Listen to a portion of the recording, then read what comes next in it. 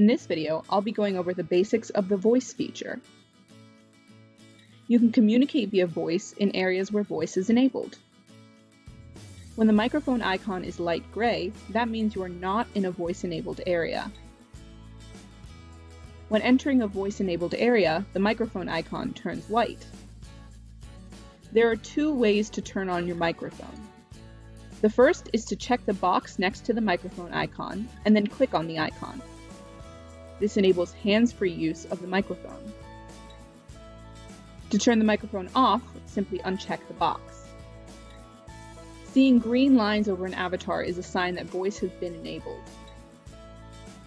The other alternative is to hold down the microphone icon and speak. This enables the mic only when it is pressed down. If you are having issues with voice, first make sure you're in a voice enabled area. Next, check to make sure green lines are appearing when speaking.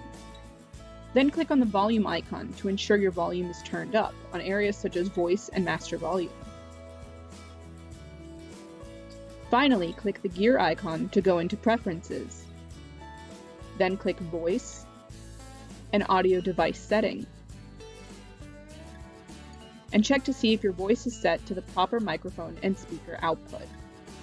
If your issue is not resolved in these steps, our support team is happy to help.